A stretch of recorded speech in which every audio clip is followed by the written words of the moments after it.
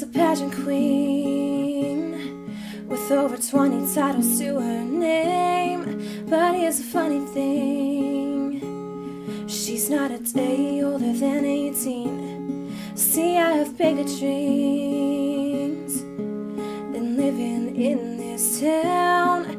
I'm not a beauty queen, I would say, but I don't want to drown. But then there and that's why She's the kind of girl you marry.